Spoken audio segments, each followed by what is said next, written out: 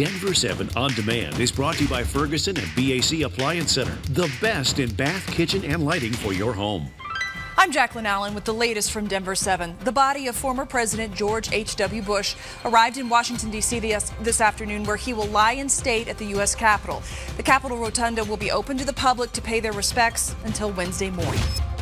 The man who confessed to killing Natalie Bollinger will spend the next 48 years in prison. Joseph Lopez pleaded guilty today to second degree murder. Prosecutors say he was responding to a Craigslist ad calling for someone to kill the 19 year old Adams County woman. Lopez maintained it was Bollinger who took the ad out in the first place. Looking ahead, tomorrow is Colorado Gives Day, and this is a day meant to encourage donating to nonprofits in our state.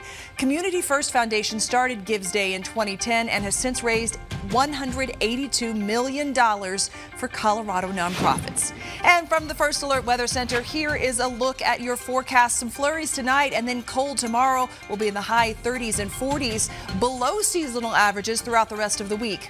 This has been your Denver 7 on demand update. Thank you for joining us. Check back here later tonight for another update and download the Denver 7 app for breaking news and alerts. I'm Jaclyn Allen.